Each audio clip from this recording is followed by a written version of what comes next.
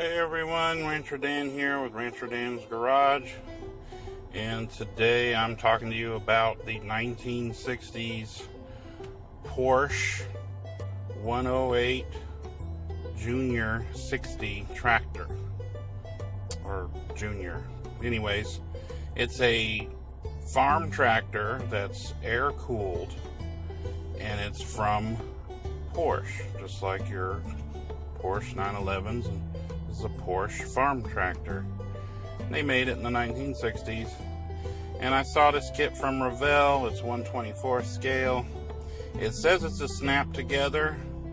There is a lot of snap together in this kit, but it's a lot of parts.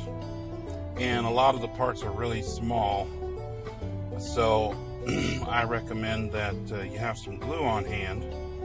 And then it also tells you it's optional paint, which I like to detail. Even if I do a snap together, I like to detail. So I'm going to recommend that if you want this tractor to look as authentic as possible, that you prepare to do some detail painting and also have the uh, proper color red on hand because I don't believe the molded plastic color is that good. Other than that, the kit was very fun to build. It wasn't terribly uh, difficult. Um, I enjoyed it. I like the finished results.